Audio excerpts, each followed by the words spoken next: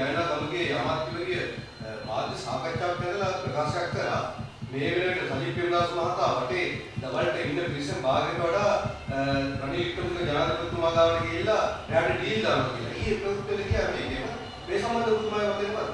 මම ප්‍රතිපත්තියක් වශයෙන් ගලි බවුසර් වලට ප්‍රතිචාර දක්වනු නොලැබේ. ඒ කියන්නේ එයාගේ ප්‍රකාශ ප්‍රකාශ පැත්තකට දාමුකෝ. ඒ වගේ කවුරු හරි කට්ටියක් ගිහිල්ලා නෑ ඒක පට්ටපල් බොරුවක්. මොකද ඉතිහාසයේ පුරාම පහුගිය අවුරුදු දෙක තුල අපේ 40ක් යනවා කෝ 50ක් යනවා කෝ ඔහොම අදහස් සංඛ්‍යාලයකන කිව්වා. නමුත් එහෙම කවුරුවත් ගිහිල්ලත් නෑ. එහෙම ගියා නම් දැන් අපේ සභ ජනබලවේගයේ කවුරුත් ඉතුරු වෙන්න දෙයක් නෑනේ. ඒ නිසා ඒවා තවනි කර හදන ගොබෙල්ස් න්‍යායන් තමයි. ඒ වගේම එතුමා සමග අපේ සජිත් ප්‍රේමදාස එතුමා සමග එක්වැනි යම් කිසි කණ්ඩායමක් බලාපොරොත්තු වෙන බවකුත් අපිට මේ වෙනවිට සමාජ මාධ්‍යවල තියෙනවා යම් කිසි ප්‍රකාශ ඔව් දැන් අපි දන්නවා අපි පාර්ලිමේන්තුව නියෝජනය කරන මන්ත්‍රී විදියට විශාල පිරිසක් සජිත් ප්‍රේමදාස මැතිතුමත් එක්ක එකතු වෙමින් ඉන්නවා.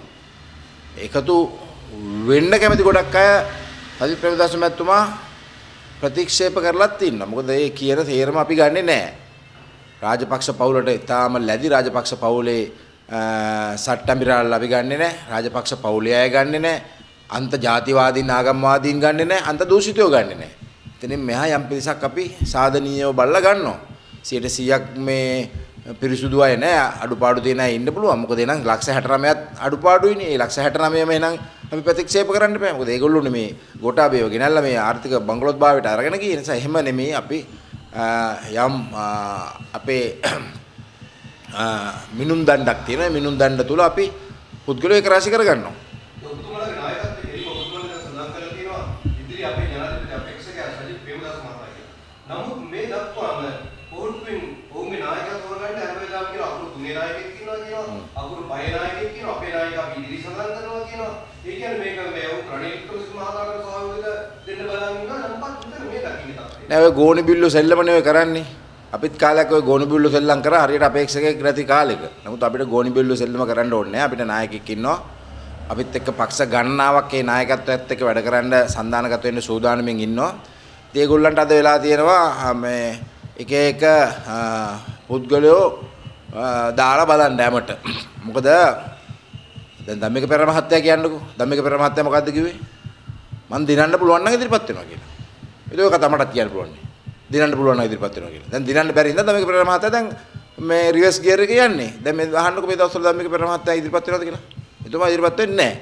ඒ නිසා රනිල් වික්‍රමසිංහ මහත්තයාත් ඔය දිනන්න මැතිවරණ දිනන්න බැරි මැතිවරණ වලට සමහර අවස්ථාවල බිලි බෝයිස්ලා දාලා තියෙනවා.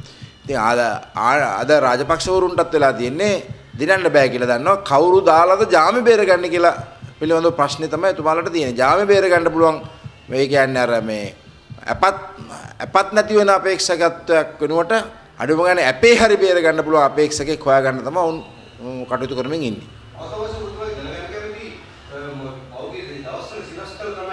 සමග ජන බලවේගයේ අසමගිය සම්බන්ධයෙන්. මේ දෙසිලු ප්‍රශ්න ඉවරද සමග බලවේගයේ සමග වෙලා නෑ ම- ආ, අපේ පක්ෂෙත් ඕන පක්ෂක නොයෙක් අ, විෂම වාද සංවාද තියෙන්න පුළුවන්. ඉතින් ඒ සංවාදයක් තමයි ඒ සංවාදයේ පක්ෂය ඇතුළත සිදු වුණා නම් වඩා හොඳයි. සරත් පොන්සේක මැතිතුමා අ, දරපු යම් යම් අ, අදහස් පිළිබඳව. ඉතින් ඒක මම දන්නේ තව ඉතාලම කීප කීප දිනකින් ඒ අ, ප්‍රශ්නෙත් ඉවර වෙනවා. මැතිවරණයක් නොපවත්වන්න එතුමාට බෑ ජනාධිපතිවරණය එතුමා නියමිත කාලේ පවත්වන්න ඕනේ. ඒකනේ ළඟම තියෙන ජ- මැතිවරණය. මොකද ආ, ප්‍රාදේශ සභා සහ පළාත් සභා කියන්නේ ආ, ඒ 50 90 මැතිවරණ පැවැත්වීම. නමුත් ආ, පාර්ලිමේන්තු මැතිවරණය සහ ජනාධිපතිවරණය අපේ ව්‍යවස්ථාවේ අඩංගු වෙලා තිනවා. ඒ කාල නිර්ණය වෙලා තියෙනවා. ඉතින් ඒ නිසා ජනාධිපතිවරණය නියත වශයෙන්ම තියන්න ඕන. ඒක වළක්වා ගන්න උන් යම් යම් වෙනත් උපක්‍රම ජනාධිපතිවරණය අවශ්‍ය කිරීම වගේ ඒවා සඳහා හිත අ, යොමු කරලා තියෙනවා වෙන්න පුළුවන්. නමුත් ඒ ඒවා භූමියේ යථාර්ථයක් බවට පත් වෙන්නේ නැහැ. මොකද අ, අපි දකින්නේ යම් කිසි විදිහට ජනාධිපතිවරණය වැළැක්වීම සඳහා ජනමතෝචාරණ හෝ තුනෙන් දෙකක අවශ්‍යතාවයක් අ, අ, පෙන්වන්න ඔයගොල්ලෝ අවශ්‍ය වුණොත් එහෙම අපි ඒකට විරුද්ධයි. මොකද ඒගොල්ලෝ තමන්ගේ බලය වෙනුවෙන් ජනාධිපතිවරණය අවශ්‍ය කරනකොට අපි විරුද්ධයි. මොකද ඒගොල්ලන්ට ජනාධිපතිවරණය අවශ්‍ය කරන්න කාලයක් තිබුණා 94 ඉඳන් 94 චන්ද්‍රිකාවෙත් මේ ජේවිපි එකත් එක්ක ජනාධිපතිවරණය අවශ්‍ය කරනවා කියලා 2004 මහින්දාවෙත් ජේවිපි එකත් එක්ක ජනතාවෙත් ජනාධිපතිවරණය අවශ්‍ය කරනවායි කියලා සිරිසේන උන්නහත් අපිට කොලේ පෙන්නලා ආවේ ජනාධිපතිවරණය අවශ්‍ය කරනවා කියලා.